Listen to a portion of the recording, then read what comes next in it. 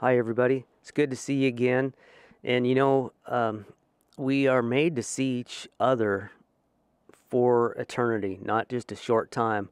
So it's nice to know that uh, Christ made a way for, you know, He's bringing God's will together so we can all spend eternity with Him on a, a new earth with a new heaven set on a new earth where this love is eternal with no sin, no death, no devil that is tempting us and testing us, but we'll continue to be faithful because we have the power of the Holy Spirit now to be faithful and to continue with Him. So, what we're doing is we're going through the book of Ephesians, and today we're on chapter 3. So, let's look at what Paul is teaching us and leading us as a true apostle of Christ by the power of the Holy Spirit. For this reason, I, Paul, the prisoner of Christ Jesus, for you Gentiles, if indeed you have heard of the dispensation of the grace of God, which was given to me for you, how that by revelation he made known to me the mystery, as I have briefly written already, by which, when you read, you may understand my knowledge in the mystery of Christ, which in other ages was not made known to the sons of men, as it has now been revealed by the Spirit to his holy apostles and prophets. Titus 2:1 But as for you, speak the things which are proper for sound doctrine. Older men, be sober, reverent, temperate, sound in faith, in love, in patience. Older women, likewise, that they be reverent in behavior, not slanderers, not given to much wine, teachers of good things, that they admonish the young women to love their husbands, love their children, be discreet, chaste, homemakers, good, obedient to their own husbands, that the word of God may not be blasphemed. And that word blaspheme, it's to defame, revile, or slander. And likewise, exhort the young men to be sober minded, in all things showing yourself to be a pattern of good works. And here it talks about doctrine again, showing integrity, reverence, incorruptibility, sound speech that cannot be condemned, that one who is an opponent may be ashamed, having nothing evil to say of you. Exhort bondservants to be obedient to their own masters, to be well pleasing in all things, not answering back, not pilfering, but showing all good fidelity, that they may adorn the doctrine of God our Savior in all things. For the grace of God that brings salvation has appeared to all men. Free gift of God, it brings salvation, and it's through faith, and it's appeared to all men. So, both Jews and Gentiles, teaching us that denying ungodliness and worldly lusts, we should live soberly, righteously, and godly in the present age, looking for the blessed hope and glorious appearing of our of our great God and Savior Jesus Christ who gave himself for us that he might redeem us from every lawless deed and purify for himself his own special people zealous for good works. Speak these things, exhort, rebuke with all authority, and let no one despise you. So back to Ephesians 3 6. It says that the Gentiles should be fellow heirs of the same body and partakers of his promise in Christ through the gospel, of which I became a minister according to the gift of the grace of God given to me by the effective working of his power. See, we need the power of the Holy Spirit of God. Isaiah, he symbolizes the uh, clean and the unclean, the wild and the tame coming together, that they're no longer fighting with swords and spears, but they're about the things of uh, like plowing a field and like pruning trees for more fruitfulness the end of Isaiah talks about a new heaven and new earth also. And in Acts 26:15 it says, "So I said, who are you, Lord?" And he said, "I am Jesus whom you are persecuting. But rise and stand on your feet, for I have appeared to you for this purpose, to make you a minister and a witness both of the things which you have seen and of the things which I will reveal to you. I will deliver you from the Jewish people as well as from the Gentiles to whom I now send you.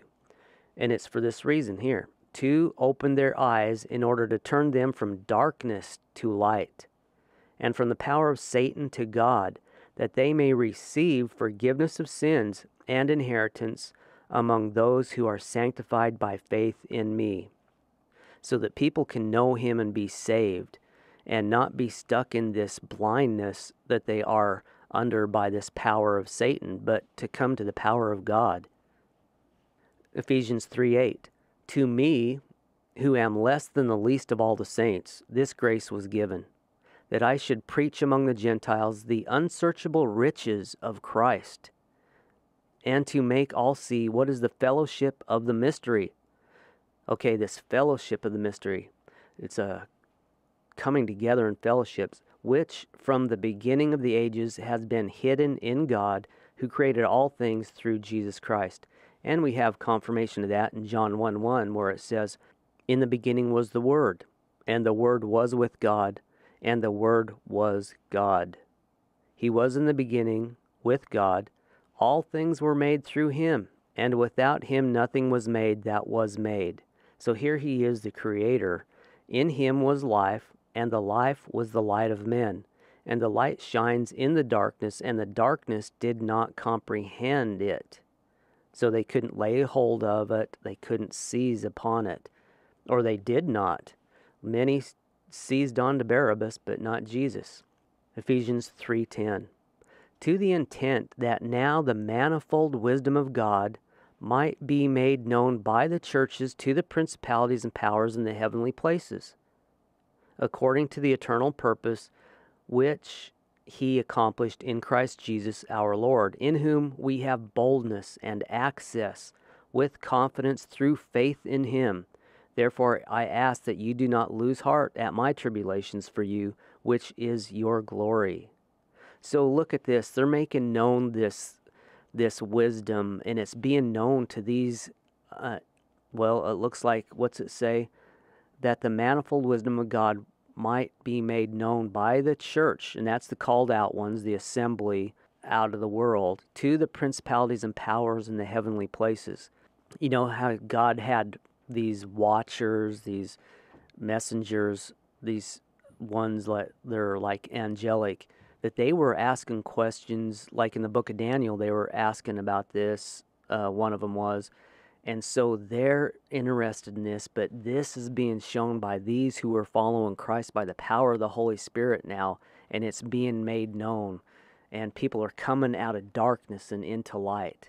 All right, let's continue on. It's interesting that what we had in Zechariah and what was being shown partly to them. So let's look at Zechariah 3 1. Then he showed me Joshua. Now that's the same name as Jesus, God saves, the high priest standing before the angel of the Lord, and Satan standing at his right hand to oppose him. And the Lord said to Satan, The Lord rebuke you, Satan. The Lord who has chosen Jerusalem rebuke you. Is this not a brand plucked from the fire? Now, I'm not sure what he is meaning there when he said, Is this not a brand plucked from the fire? Now, is he talking about Satan or Joshua? Is it like Satan is just, he is doomed for the fire, but he's right now, he's not in the fire? Or is it like Joshua that has been plucked from it? I'm not sure. But it says, Now Joshua was clothed with filthy garments and was standing before the angel. Then he answered and spoke to those who stood before him, saying, Take away the filthy garments from him. And to him he said, See, I have removed your iniquity from you, and I will clothe you with rich robes. And I said, Let them put a clean turban on his head. So they put a clean turban on his head, and they put the clothes on him, and the angel of the Lord stood by. Joshua is cleaned up, and of course, we know how God made this possible through Christ. Now, Zechariah 3 6, and the angel of the Lord admonished Joshua, saying, Thus says the Lord of hosts if you will walk in my ways, and if you will keep my command, then ye shall also judge my house, and likewise have charge of my courts. I will give you places to walk among those who stand here. Hear, O Joshua the high priest, you and your companions who sit before you, for they are a wondrous sign. For behold, I am bringing forth my servant the branch. For behold, the stone that I have laid before Joshua. Upon the stone are seven eyes. Behold, I will engrave its inscription, says the Lord of hosts, and I will remove the iniquity of that land in one day. In that day, says the Lord of hosts, every one will invite his neighbor under his vine and under his fig tree.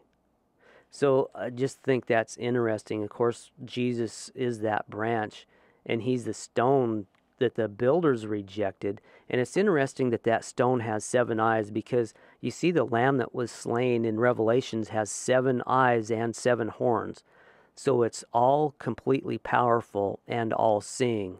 Jesus talked to us about who the neighbor is. Remember that parable of the Good Samaritan? Moses was not able to take them into the promised land, but another Joshua had taken them into the promised land, and that's where they were to have rest. You know, who gives us real rest is Christ in giving us his rest and taking us really into the promised land spiritually.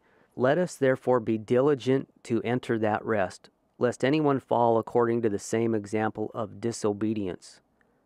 For the Word of God is living, powerful, sharper than any two edged sword, piercing even to the division of the soul and the spirit, the joints and the marrow, and is a discerner of the thoughts and intents of the heart. And there is no creature hidden from his sight, but all things are naked and open to the eyes of him to whom we must give account. Seeing then that we have a great high priest who has passed through the heavens, Jesus, the Son of God, let us hold fast our confession, for we do not have a high priest who cannot sympathize with our weaknesses, but was in all points tempted as we are, yet without sin. Let us therefore come boldly to the throne of grace, that we may obtain mercy and find grace to help in time of need. You know, no creature hidden from his sight, no creation hidden from his sight. Now that makes me think no creation hidden from his sight, even in the womb. The creation is not hidden from his sight. Us, he sees the inside. And some, you know, all of us have been ones that, yeah, we want to make the outside of the cup clean, but Jesus said, look, on the inside is nothing but dead men's bones. So it's not about making the outside clean. We need a new cleansing from the inside, which means a new heart. And we can only have a new heart through Christ. And that's by turning to Him who was put on the cross, died with our sins on him them so they could be wiped out. But he never sinned, so he's raised up, sitting at the right hand of God. And where he is, we can be also. And that's and all we need to do is turn to him faithfully to repent and be be sorry for what we've done and turn humbly and obediently to him and follow him faithfully to the end. So let's continue in that in Hebrews 6:19. This hope we have as an anchor of the soul, both sure and steadfast, and which enters the presence behind the veil. So remember to get into that holy of holies they had a wall where only the high priest could go through once a year, but Christ has done it for us, where the forerunner has entered for us, even Jesus, having become high priest forever, according to the order of Melchizedek. So here, the lion of the tribe of Judah, the lamb that was slain, that was worthy to open seals. And this is the one, him being the lamb because all this religious acts that we were doing, this was a shadow of what was to come but we've been set free in Christ. And uh, wow, this is a great thing. So let's get back to Ephesians 3:14. For this reason I bow my knees to the Father of our Lord Jesus Christ, from whom the whole family in heaven and earth is named, that he would grant you, according to the riches of his glory, to be strengthened with might through his Spirit in the inner man, that Christ may dwell in your hearts through faith that you, being rooted and grounded in love, wow, and He is love, may be able to comprehend with all the saints what is the width, the length, the depth, and the height, to know the love of Christ which passes knowledge. So we can have a knowledge and, you know, logic and reasoning which are good, but there's even something that goes beyond that. Now to him who is able to do exceedingly abundantly above all that we ask or think, according to the power that works in us. To him be glory in the church by Christ Jesus, to all generations forever and ever. Amen. So there we have the end of Ephesians, but I wanted to go through a few more things about Ephesus.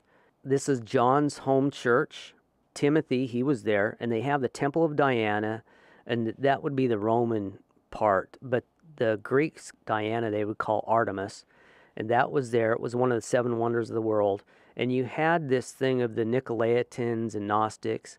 Well, the Nicolaitans, also called antinomians, uh, which is against law, against legalism.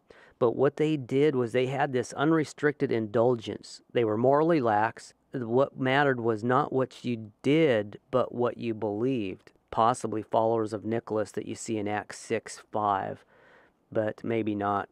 The Gnostics, that was an earlier term for antinomianism, and it's like the sects like the Manichaeans. They held that their spiritual being was unaffected by actions of matter and regarded the carnal sin as at worst a form of bodily disease. I've noticed some believers, they say, oh, we don't go by law. And some of them, they don't even read the Old Testament because they say we're in the New Testament and we don't go by law. But there's also this thing of being lawless, which that being lawless is not good either, because you know it says uh, that um, what does it say? Works or faith without works is dead. So if you do have faith, you actually will have works that are faithful also. So you will be doing good works. It's not just all, oh, Christ loves me and I can do what I want, like these Nicolaitans and Gnostics were they were heading down the wrong road that way too. Okay, let's look at some of the things that uh, was going on in Ephesus with Paul. So let's look at Acts 19. It says, Paul, having passed through the upper regions, came to Ephesus, and finding some disciples, they were baptized in the name of the Lord Jesus. So, so people were getting baptized. And when Paul had laid hands on them, the Holy Spirit came upon them, and they spoke with tongues and prophesied. Now the men were about twelve in all, and he went into the synagogues and spoke boldly for three months, reasoning and persuading concerning the things of the kingdom of God. So Paul is talking about the things of the kingdom of God, and that reminds me how Daniel was speaking the things in the kingdom of God. And on the left here, the statue, you have the kingdoms of the world Babylon, Media, Persia, Greece, and Rome. And this stone that hits it kingdoms of the world begin to collapse, but this kingdom is an everlasting kingdom and it grows and continues to increase. And then on the right side, I have in Daniel chapter 7, you have nations as beasts. You have Babylon, Media, Persia, Greece, and Rome, but they come to fire. And you have an everlasting kingdom. So interesting. Now, verse 9 But when some were hardened and did not believe, but spoke evil of the way, Remember, the Christianity was called the Way first, and then later they were called Christians at Antioch. Before the multitude, he departed from them and withdrew the disciples. Paul and the disciples had to withdraw because they had such hard hearts, reasoning daily in the school of Tyrannus. And this continued for two years, so that all who dwelt in Asia heard the word of the Lord Jesus, both Jews and Greeks. Now God worked unusual miracles by the hands of Paul both Jews and Greeks were hearing this. Now God worked unusual miracles by the hands of Paul, so that even handkerchiefs or aprons were brought from his body to the sick, and the diseases left them, and the evil spirits went out of them. So Paul, you know, he's a true apostle by the power of the Holy Spirit that things these things were happening and confirmed in Acts 9:13 we see some other things going on in Ephesus. Okay, it says then some of the itinerant Jewish exorcists. Now itinerant that means they were traveling. They took it upon themselves to call the name of the Lord Jesus over those who had evil spirits. So these itinerant Jews had been hearing this and they tried it, saying, We exorcise you by the Jesus whom Paul preaches. Also, there were seven sons of Sceva, a Jewish chief priest, who did so. And the evil spirit answered and said, Jesus I know, and Paul I know, but who are you? Then the man in whom the evil spirit was leaped on them, overpowered them, and prevailed against them, so that they fled out of that house naked and wounded. This became known both to all the Jews and the Greeks dwelling in Ephesus. And fear fell on them all, and the name of the Lord was magnified. Looking at fear of God and godly sorrow, let's look at 2 Corinthians 7 1. It says, Therefore, having these promises, beloved, let us cleanse ourselves from all filthiness of the flesh and spirit, perfecting holiness in the fear of God. Open your hearts to us. We have wronged no one. We have corrupted no one. We have cheated no one. I do not say this to condemn, for I have said before that you are in our hearts, to die together and to live together. Great is my boldness of speech towards you. Great is my boasting on your behalf. I am filled with comfort. I am exceedingly joyful in all our tribulation. For indeed, when we came to Macedonia, and that's Greece up there, our bodies had no rest, but we were troubled on every side. Outside were conflicts, inside were fears. Nevertheless, God, who comforts the downcast, comforted us by the coming of Titus. So here we have the Holy Spirit, and we have other people come together in the Holy Spirit with comfort and not only by his coming, but also by the consolation with which he was com- comforted in you. Well, okay, so there in the Holy Spirit also comforting. When he told us of your earnest desire, your mourning, and your zeal for me, so that I rejoiced even more. For even if I made you sorry with my letter, I did not regret it, though I did regret it. For I perceived that the same epistle made you sorry though only for a while. Now I rejoice, not that you were made sorry, but that your sorrow led to repentance. Wow, so that's like a good father or a good mother with a child there, isn't it? For you were made sorry in a godly manner, that you might suffer loss from us in nothing. For godly sorrow produced repentance, leading to salvation, their saving, not to be regretted but the sorrow of the world produces death. For observe this very thing, that you sorrowed in a godly manner. What diligence it produced in you, what clearing of yourselves, what indignation, and that indignation is a meting out of justice. What fear, what vehement desire, what zeal, what vindication. In all things you proved yourselves to be clear in this matter. So Paul is wanting something for them for good, not evil in Acts 19:18, and many who had believed came confessing and telling their deeds, and also many of those who had practiced magic brought their books together and burned them in the sight of all. So this is also going on in Ephesus right here.